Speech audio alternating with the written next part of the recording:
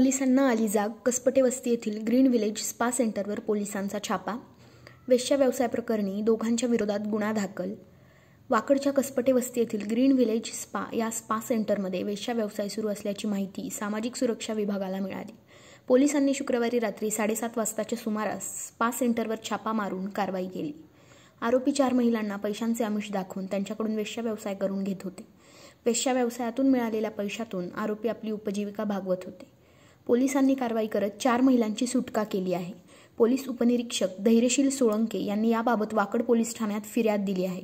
Spa centre manager Deepak Namdev Salunke वय चोवीस राहणार कसपटे वस्ती वाकड आणि अमित विश्वनाथ काटे वय बत्तीस राहणार पिंपळे सौदागर पुणे यांच्या विरोधात गुन्हा दाखल करण्यात आला आहे. वाकड पोलीस तपास करीत आहेत.